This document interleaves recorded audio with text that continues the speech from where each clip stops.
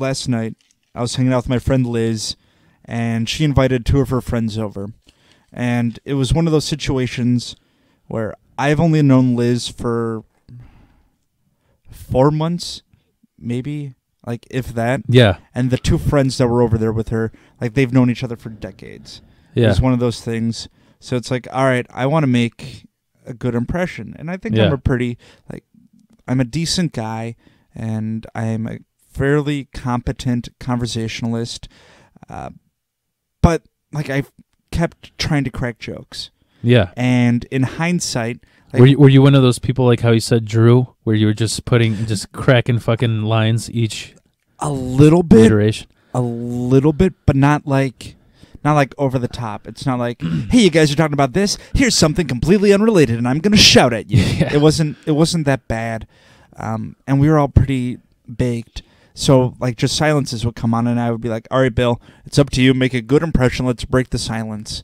And one of the things I said, and I Yeah. think, and I'm still thinking about this, and I don't know if it's like, I think it's a topic for discussion, is so like, do you think there's Yelp reviews for prisons? I, yeah, that's That that's a valid question. that and I think it's funny like Google search like Danville State Prison and like oh this prison only gets 3 stars out of 5. You know, Yeah. here's their address or here's their address, here's their hours. And you know like if you Google a restaurant it'll have like a cute little blurb about it like Yeah, a convivial nautical themed restaurant, yeah. you know.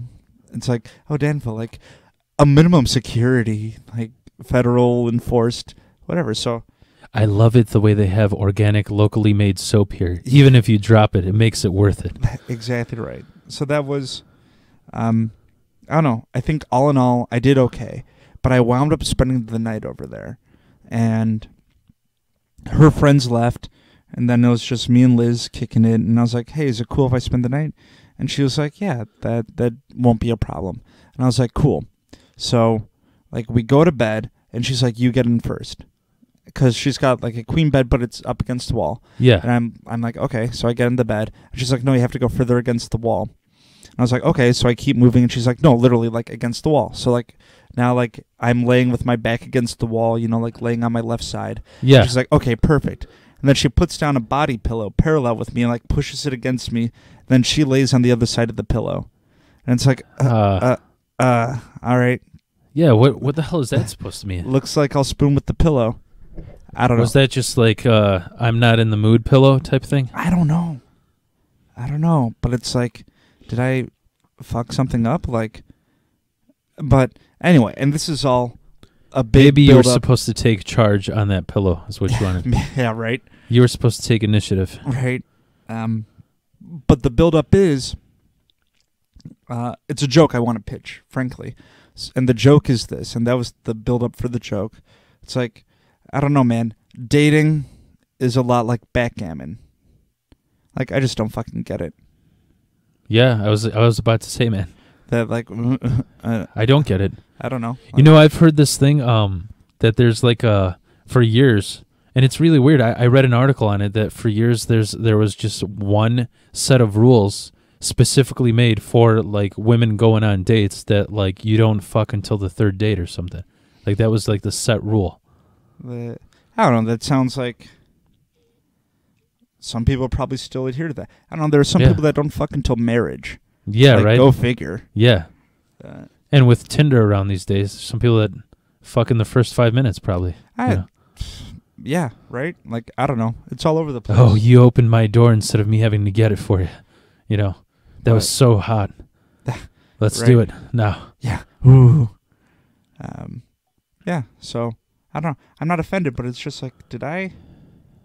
I thought like the whole evening was like kind of building up to at least some mild cuddling. Yeah, But- right. Like no, I'm like Speaking of um, or I'm, I don't know if I'm cutting you off. no, no, no. Go Speaking of board games, have you? Okay. Oh, backgammon. Gotcha. Ha- Board games. okay. Yeah. this might be back to me ranting for two hours on politics. No, All right. I'm sorry. It better Let- not be. No, no, no, no. Okay.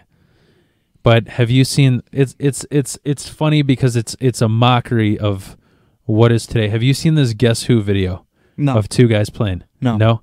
Have I told you about it? Honestly, No. Like, yeah. No. I haven't told you about it at all. No. Okay.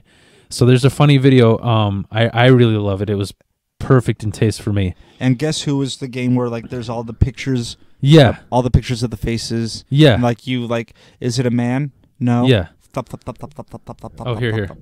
Let me. Uh, I'm gonna put your mic. All right, there you perfect. Well, I just bopped it away with my nose. Yeah. So, anyway, Um, the sound effect is thump, thump, thump, thump, thump, thump, Yeah, thump, thump, yeah. thump, thump, thump. That's not. You better not be doing another fucking impression, Ross. Come on. no, no, it's Lo- really not. this law's drumming. Fuck him. No, but anyway, no. The, they. Uh. Yeah. You you do that, and it and it says here's how Guess Who is played in 2018, and it's two like really hipster fucking white guys playing, and they're like, um, is your person black? He goes, what? "Ah, excuse me, you be all right? Is is are they African American? No, African. what did you just say? No, is he a person of color? Th- that's what I was looking for. That's what I was looking for. And then the next guy, he's like, "All right, it's your turn." Or no, you get you get three tries to go. All right. Um, is your person a hot chick? It's like what? And then he grabs his card. He's like, "Are, are you are you feeling uncomfortable? Are you feeling uncomfortable right now?" It's like you know you can't Yeah. like you can't play it in 2008. And then I think that the last one was kind of funny. He goes, um, all right, is your person, how do I say this? Genetically inferior to other people, um, from the brows up. What the fuck does he's like? What the fuck does that mean? Uh, all right, he's a little bit. He was um has a little bit in his genes that make him a little bit colder during the cold seasons. All right, motherfucker, is he bald? You know, yeah, bald shaming. You know, and that's and it was so funny because after the weirdest thing, after I watched that video, there's actually like idiots who are looking for reasons why games can be offensive. Because what I found out recently is people got mad about um, Monopoly, saying that there's going to be a revised version saying that like you don't get a second chance when you're out of jail, you know, shit like that. I'm like, what the fuck? And then and then obvi- I get, I'm just waiting for somebody to bitch about how like if oh well look at all these different segregated properties and some are lo- more expensive than others. Real estate is a perfect you know example how things get Im- impoverished, you know, or, or are manipulated in order to be. Impre- I mean, I guess that could be a valid argument, but it, dude, at the end of the fucking day, it's a fucking board game. You know what I'm saying? Sure. So, but and I, I, don't agree know. with you. I thought it was just kind of a funny thing. Can I can I tell a really funny story? Mm-mm-mm. Ken, your turn. Nope. Sorry. No funny stories here. Only Can. I, can I? Okay, can I tell you a really awkward and shaming story and depressing story for the mood? Does yeah? Does it fit into our seasonal depression theme? Seasonal dep- um. Let me let me just go over it real quick. I don't care, dude. Tell it's kind of de- story. it's it's kind I of don't depressing. care. Say whatever you want. Oh wait, I'm pissed off right now. no. Eh, Okay, so I was invited for a. My girlfriend um, has a friend named Mary. So so we might have, I might have to mention a bunch of names in order to follow along. But so my girlfriend's best friend is Mary. She was having a surprise party. And I'm sure they're never going to watch this thing, so they won't get offended. But any, anyways, they um, We hate them all. Yes. Ma- So we were throwing a surprise party. Her sister was throwing a surprise party for her. So we- Mary's sister was throwing a surprise party for Mary, yes. Okay. I forgot what Mary's sister's name is. I don't know. We'll call her uh, Penny. I don't know. Whatever. An- anyways, so so so she's throwing um a party, and so everybody showed up early to sort of you know, hey, it's your birthday, give her surprise! g- cake straight to the face, you know, like Yeah. And so I show up and I forgot that um you know, I got horrible fucking memory. Kelly had told me a while back that Mary's sister because we actually ran into Mary's sister at the zoo. One of her children is uh they have a 4-year-old and a 2-year-old and the 4-year-old uh girl she they don't really talk about it. Um I think she might have she's either autistic or has seizures all the time. Okay. So like for like example some sort of developmental. yeah.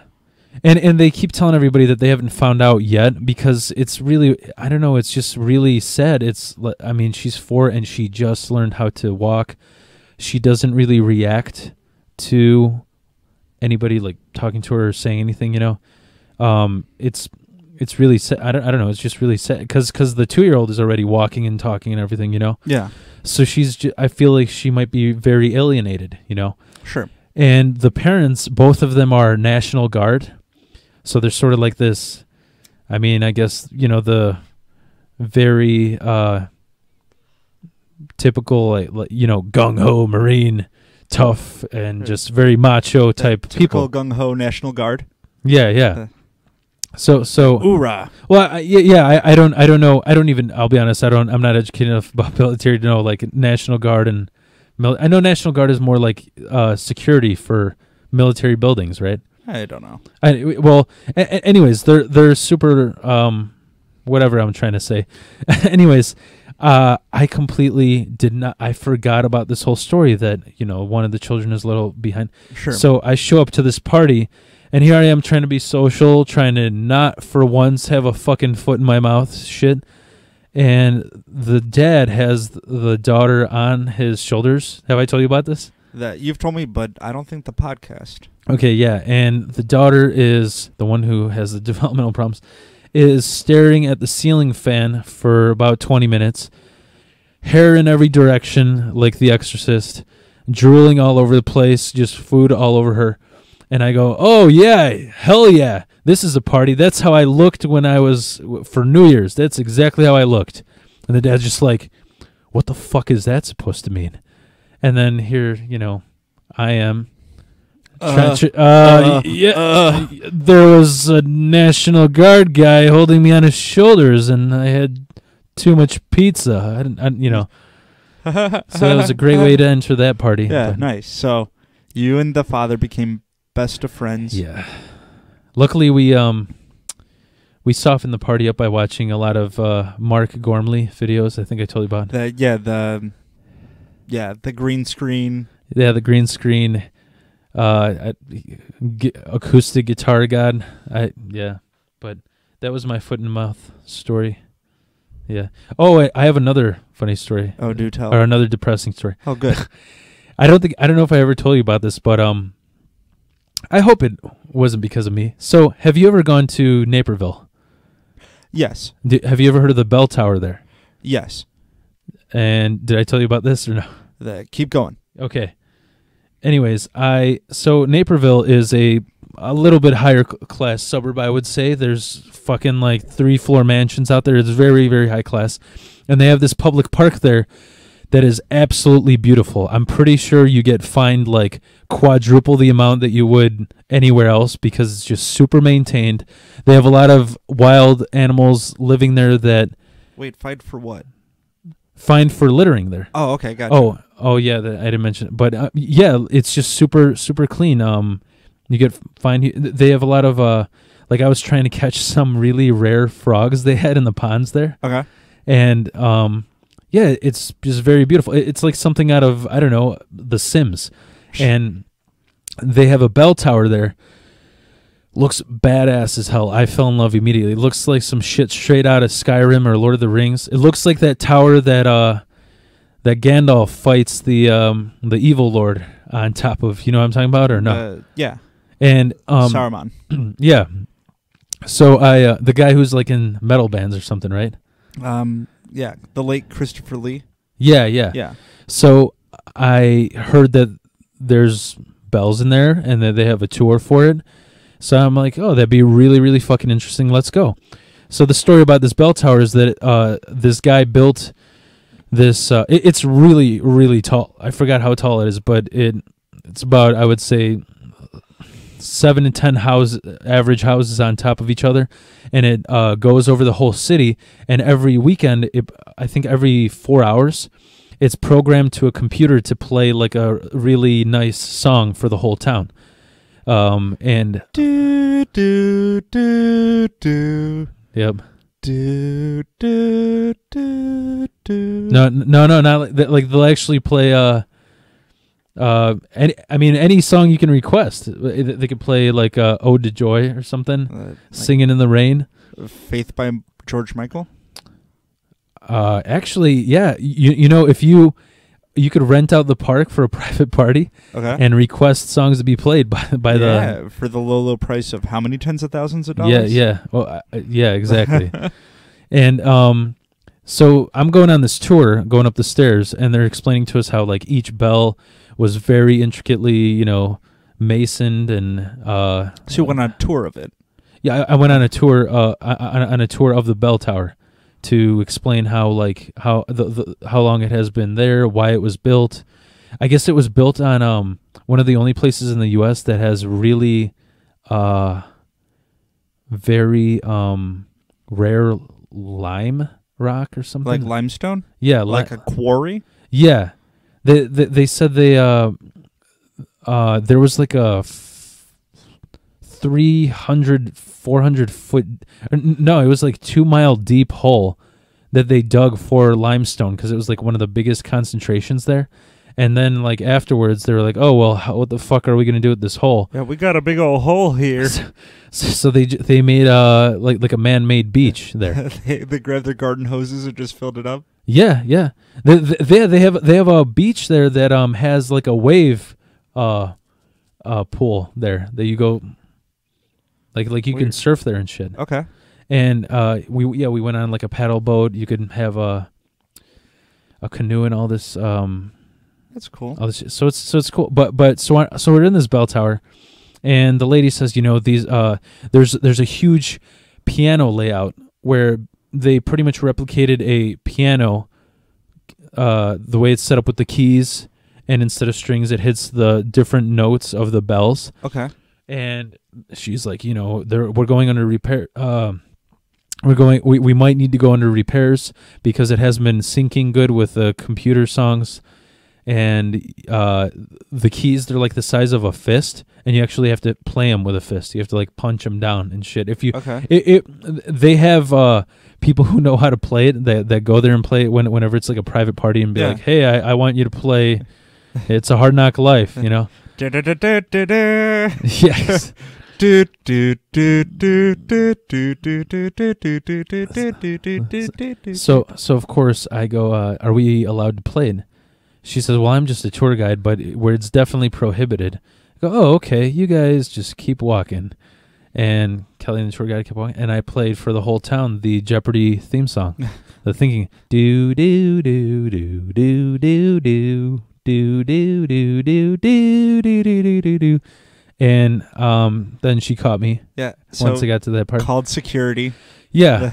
And the best part is, uh, a few days ago, I was looking it up just to be like, oh, I wonder how's it? What is it? What do they do with it in the what's winter? going on with the bell tower? yeah, and apparently there's a uh, repair needed that's going to be costing three point eight million dollars for the town. So let's just say I hope the Jeopardy theme song didn't ruin that. Um, I'm actually happy you brought that story up because it falls right into our theme of seasonal depression. Because can you imagine a more depressing job than being a bell tower tour guide? like, just all right. Here's a bunch of stairs. All right, Yeah. here are the bells. Any questions? Bell. No, no one ever has any questions. that, but it was a nice time, a nice romantic Yeah. cardio exercise with. I'm still trying to think of a more depressing job than a bell tower guy. I'm trying. I'm trying to. Trying to think of it. It's hard to think of. I'm sure they're out there. Actually, when I was looking for a job uh, during that six month unemployment, there was a job. It, it was seasonal, which is why I didn't take it. There was a job where you just ride a bicycle from town to town, and you take uh, eye droplet samples of each body of water in order to measure the uh, everything the the parasites in the water, whether it's good or not, or yeah, like the content, the pH. yeah, which I guess I don't know. That might be cool, but I don't know if that's really. Oh hey, I, I got to go drive to all these, ride to all these fucking ponds twenty miles apart, and just get gather some water, and then I'm gonna be unemployed in the next three months. You know. I don't know. I bet there are people that'd be super into that, man, like conservation and things. Oh yeah, it it, w- it would be cool, but I'd feel like if I did that, you know, where do you move up from there? Yeah, right. Especially if you don't have any like college education. Oh, listen, I know how to ride a bike and gather water. Okay, you definitely want me in, as an accountant in this job. You know? That right, yeah. It's um I don't know. Jimmy John's delivery bikers. Yeah, Say that moving on up, like, no dude, no more sandwiches, no more people, just me and ponds. yeah. It's I'm a doctor, damn it. I'm a scientist. So uh, different strokes for different folks. Yeah. Um gotta say, I ate a lot of White Castle. Not feeling super great. the um Are you sure it's the white? Don't blame your depression, Yeah. seasonal depression, on White Castle. Okay. No, I thought White Castle was the cure for the seasonal depression. I guess I was wrong. you know, um, so I, I, I feel like I, I went into a little bit earlier, but um, off the podcast, but I feel uh like so recently I've had really, really, really horrible fucking anxiety, really horrible anxiety, and a lot of it has been just people bringing up politics at work. I'm not gonna get into that, but. Uh, not even no. It's just people debating over dumb shit, and you know, I just Like, what job is more depressing? yeah, yeah. Which I was, yeah, man. Why are you bringing up that dumb shit? No, but it's just yeah. You just art, not even or or whether art schools should exist. You know, it's a viola. It's not a violin. Just shit like that. Uh, People, no, people just get get really offended easily these days, and a lot more sensitive. And I feel like when um I feel that a big reason how seasonal depression affects people, like winter, I think it has a lot to do with just people don't go out and do shit. Sure. And and and not only that, but in the sense of like for me specifically, I think it's I need to have an adrenaline rush. Because for a while, um it's like I can I'm complete I, I think I'm a pretty social person. Like if you go to a party or if we're at the bars, I, I think I speak pretty well. Yeah. And I didn't understand how there'd be certain moments where I'd be talking with people and I just get like I fr- either freeze up or I get really super shaky and I didn't know what it was and I realized what it was was just dumb fucking topics like politics. So I read up on this and it's not social anxiety, it's um high blood pressure during confrontation okay. you know, which which really blew my mind because I'm like, holy fuck! I get I put myself, you know, oh, I go to a show and go to a mosh pit where I could get completely trampled or into a fight. I wonder why I have anxiety, Sure. or you know, but I, but on the other hand, I was thinking maybe adrenaline rushes help people who have depression because it's sort of like I don't know if if you threw somebody um you know when you have somebody for example I used to go out a lot more I used to party a lot more you know getting older no, no nobody goes out anymore if you threw somebody who's super fucking depressed right and you threw them into some I don't know battlefield or dropped them off in some really gang ridden neighborhood I'm pretty sure that would spark them out of their depression be like I got to run I, I got to get the fuck out of here you know one would hope. like it, like it wouldn't um slow them down. You know, if you throw them in the middle of I don't know Gaza Strip or something. You know. Right.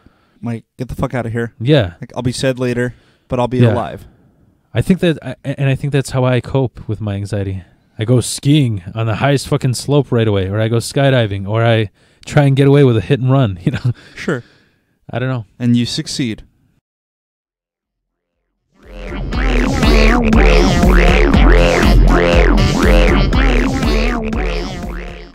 Es nästan majten stisen.